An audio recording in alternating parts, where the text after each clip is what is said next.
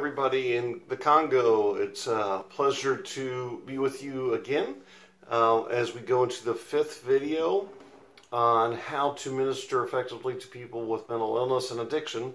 Uh, so I just want to thank you uh, for your commitment to um, help those who can't help themselves and to work with those who most of the people in the in your community and in the communities around the world uh, will distance themselves from, will not take care of. So I thank you for your commitment and I pray God's blessings upon you so that you may effectively minister to uh, these individuals and as a result that you will be ministered to as well. My experience as uh, as a former pastor and somebody who's still in ministry is that oftentimes as I'm helping others, uh, God helps me. Um, there is a song here in the United States uh, written by a gentleman named Chris Rice, in which he talks about when in the song when you talk when you are ministering to those who are less fortunate than you, that we actually see the face of, face of Christ at that point. So I'm praying for you, and I'm praying that as you minister to this group of people, um, that you see the face of Christ and that you're drawn closer to Him. So today, what I wanted to talk to you about in this video is um, the needs, uh, beginning to talk about some of the needs that people have in general, and not just people with mental illness and addiction, but people in general. And so, certainly, the people who live with mental illness and addiction need these perhaps to a greater extent. So before we get started, let, let's pray. Would you bow your heads with me, please? Father, thank you so much for your love and mercy and grace. I pray today as I record this video and when my brothers and sisters in Christ listen to the video, that you'll make yourself make your presence known and may, may your name be glorified. Teach us, empower us, and show us your face in Jesus' name. Amen.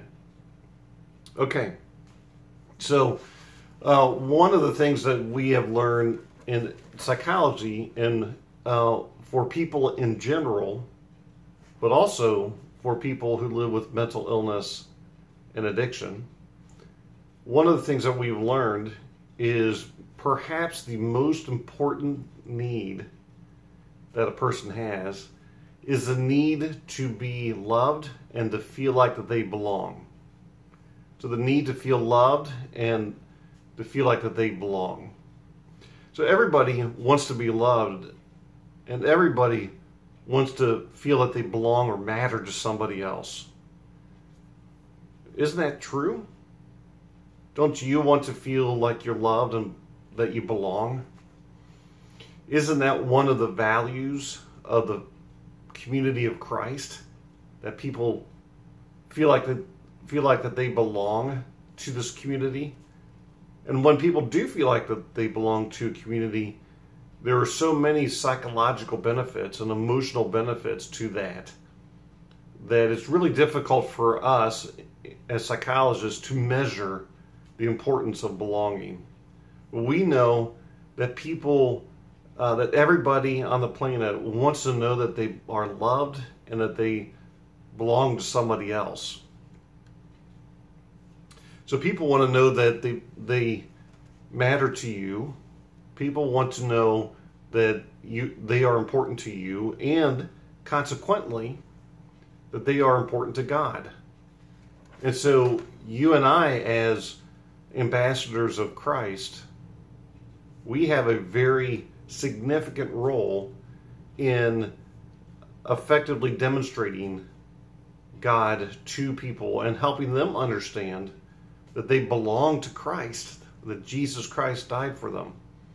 That includes everybody, including those who live with mental illness and addiction. So psychologists have learned that the that the greatest need a person has is, is to know that they're loved and feel they belong.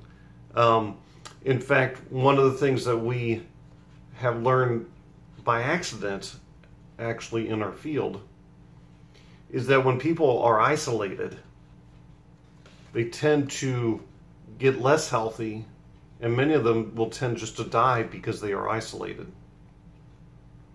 In fact, there were some unfortunate studies done in Nazi Germany during the uh, Great Depression uh, and World War II, in which the German psychiatrists actually isolated babies uh, who were newly born. They fed them and they uh, gave them liquids, but they did not give them any interaction or very, very minimal interaction with other humans. And they found that out of those 100 babies that they were experimenting on, 95 of them died within a few weeks of birth. And the explanation is, is that those babies died because they didn't feel like that they belonged or mattered to anybody. That's the importance of what we're talking about today. That the people who live with mental illness and addiction in your community and in my community need to feel like that they matter and that they belong to you and to God, that, that they're important. Um, so, because of this knowledge, we have a tremendous responsibility, and we can we can be a tremendous blessing to those people who simply by living with uh, mental illness feel quite isolated and feel like that they don't belong. So something as simple as you and your community ministering, connecting to people does a huge benefit for those individuals to be more healthy. Studies have shown that that, uh, for example, um, psychological studies have shown that when people experience a trauma, perhaps it's a a rape or trauma from war or trauma from some other kind of violence or abuse. Studies have shown that when individuals experience a trauma, if they can tell somebody about the trauma and feel accepted and loved for who they are and not given responsibility for what occurred to them, then they are much more likely to be able to absorb the trauma and the trauma would not have as significant as a negative impact as it would if the person who experienced trauma did not get support from their community or their church or their family. So, the significance of you helping people who live with mental illnesses, either the brain based mental illnesses or the emotionally based mental illnesses, the impact that you can have by simply having a relationship with these individuals and their families is tremendous. So I'm going to encourage you today to really work hard at building a relationship and connecting to people who live with mental illness and addiction and help them understand that they are important to you and that they are important to God. So let's talk through a little bit of what, what the scripture may teach us about this aspect of connecting to people. So, a couple quick stories from the Gospels. First of all, in a previous video, we talked about the parable of the Good Samaritan. So, let me go back and touch on that parable and just pull out a few points. This is from Luke chapter 10. So, in the parable of the Good Samaritan, Jesus points out several things that the Samaritan in the story, when he sees the person who's been robbed and beaten, and, the, and that person is laying by the side of the road, the Good Samaritan does several things. And we talked about this in a previous video, but let me just point it out in the context of today's teaching. So the Good Samaritan did a few things. Number one, he saw the person.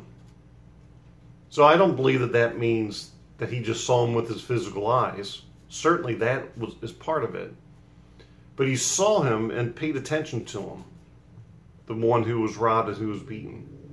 He saw him and then he went to the person So there was something he saw about the person that created some empathy, some feelings, some emotions towards this individual. And because of him seeing the person and being stirred up or having some compassion for this person, then he went to them. We remember what the previous two people who had walked up to the beaten man did.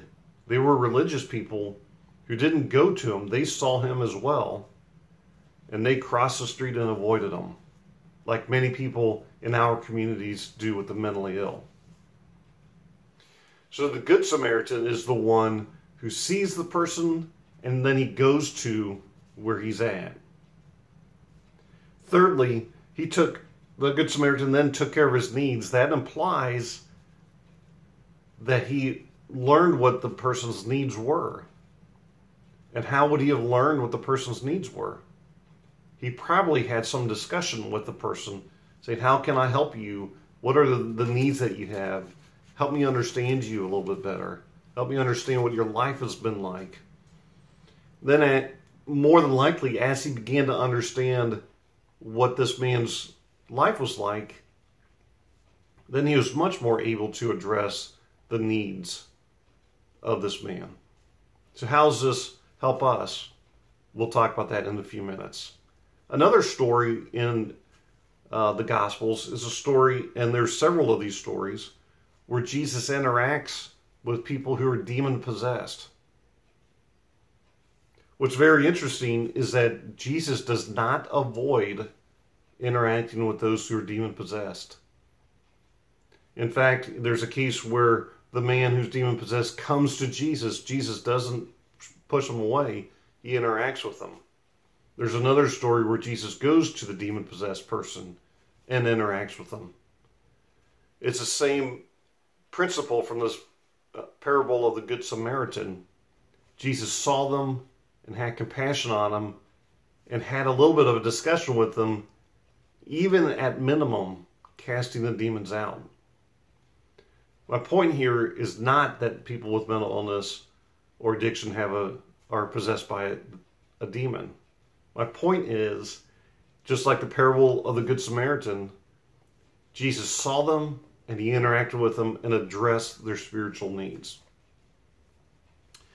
Uh, also, in um, Deuteronomy chapter 7 and 1 Peter chapter 2, in First Peter chapter two, we were taught we were once lost, and now we are um, we are to proclaim the excellencies of God.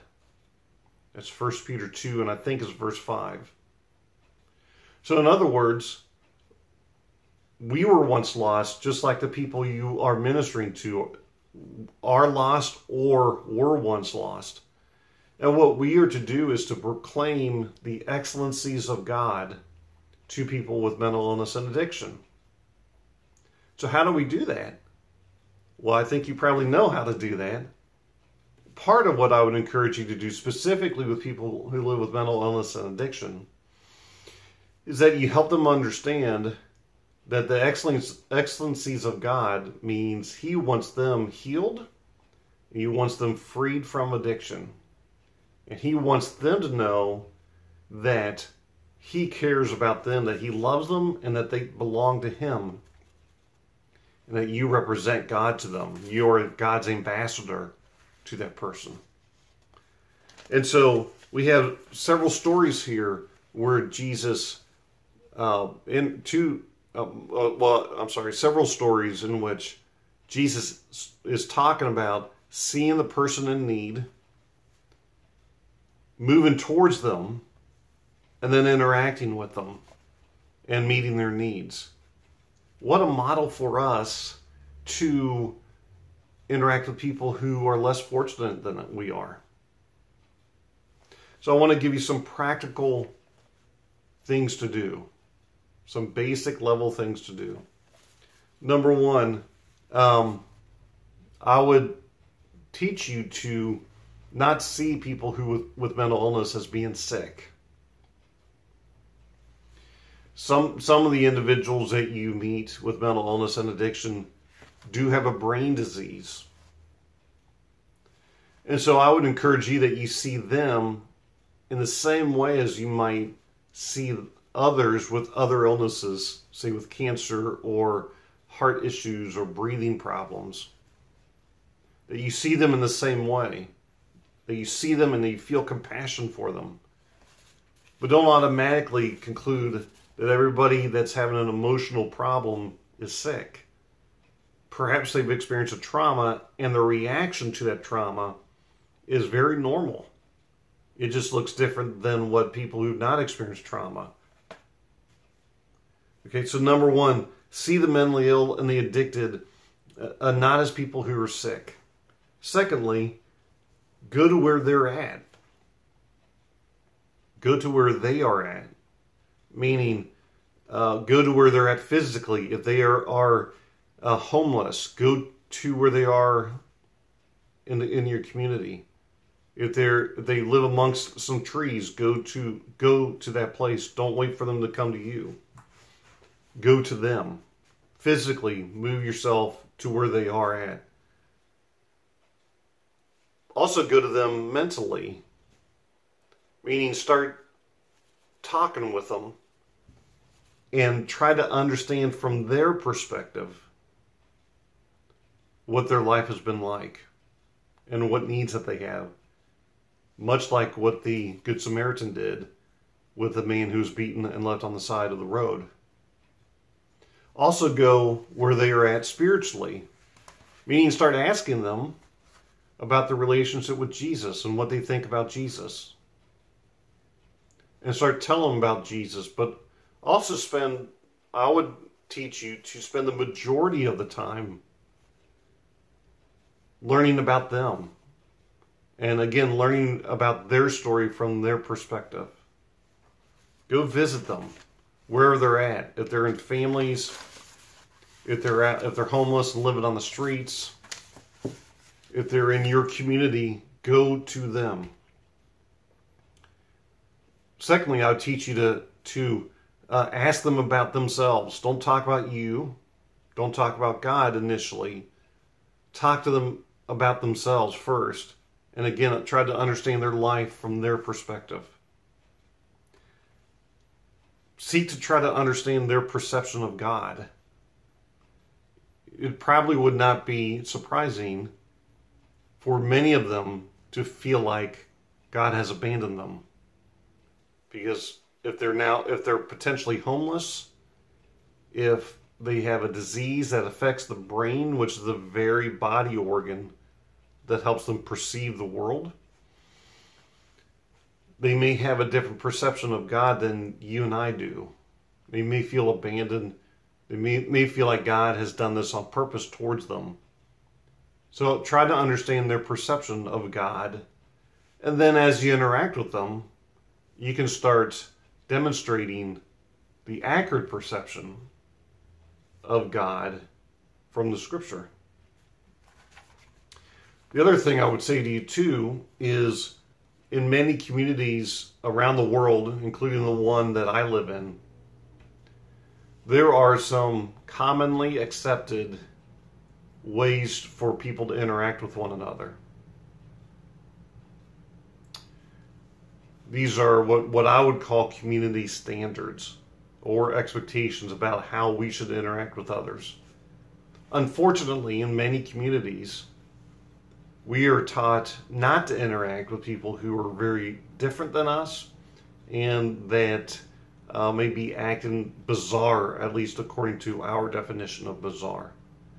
One of the things that I think is very powerful in the Gospels is that Jesus cares more about people than he does about those community expectations as to how we should interact with one another. Think about this. In the Jewish community in the first century, it would not. It would. Uh, the reason why demon possessed people were chained to rocks or they were cast out of the community is because the community standards and expectations were that they should not interact with the demon possessed. Yet Jesus goes right to where they are. He violates all the community standards to help the person, individual. That's how important the individual person is to Jesus.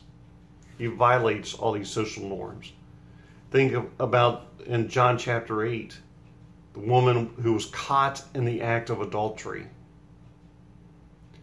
The religious people wanted to stone her and were and violated all sorts of their own social norms and Jesus cared more for the person than the social norms of the religious hypocrites.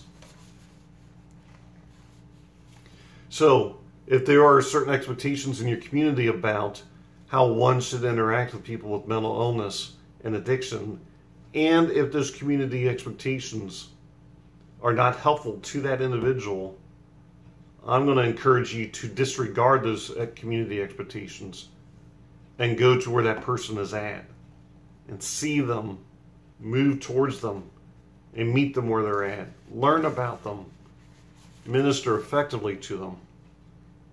Don't be afraid about by what you see or hear either. Don't be afraid by what you see or hear. Jesus wasn't. With those who are demon possessed, woman who's caught in adultery, and so many other stories, Jesus wasn't afraid. Jesus just interacted with them. You may witness some things that are pretty bizarre and that will make you feel uncomfortable. Just know that you have the Holy Spirit with you. He will protect you and He will guide you. Have faith in that. So, move to where the person is at.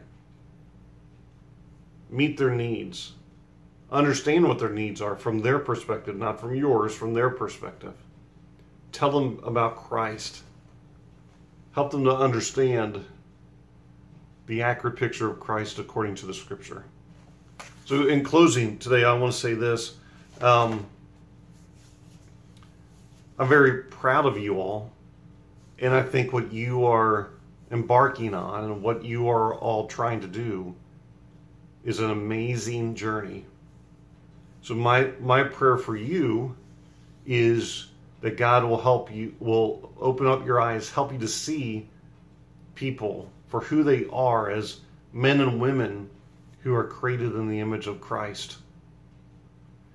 And that, that they are not actually less than who you are. They are people in need of Christ, much like you are in need of Christ and you were in need of Christ. So I'm proud of you. I'm praying for you all the way over here in the United States. And I look forward to seeing you in the next video, teaching you the next principle and perhaps next summer being able to come to you and meet you all face to face. Thank you and God bless you. I'll see you in the next video. Bye bye.